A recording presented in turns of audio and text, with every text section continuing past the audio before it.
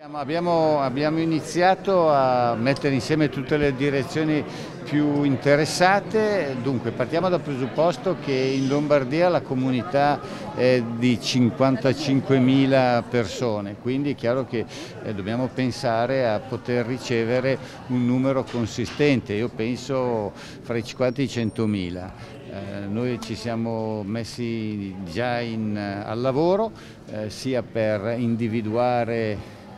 luoghi dove poter ricoverare le persone che arriveranno, quindi eh, stiamo rimettendo in funzione i Covid Hotel, stiamo facendo una mappatura di tutte le residenzialità nei quali poter mettere mm, eh, i profughi, eh, stiamo facendo un esame, anche una mappatura delle case ALER per eventualmente utilizzare quelle, stiamo ricevendo molte disponibilità, anche poco fa ho ricevuto la telefonata di una persona che rappresenta un'istituzione importante che può mettere a disposizione molte abitazioni. Dall'altro lato stiamo, stiamo, studiando, stiamo predisponendo anche iniziative da un punto di vista sanitario, sia per ricevere eh, i bambini, voi sapete che fin dal primo giorno stiamo parlando e collaborando con eh, la Fondazione Sole e Terra per ricoverare nei nostri ospedali di Pavia e dell'Istituto dei Tumori eh, quel gruppo purtroppo di bambini malati oncologici.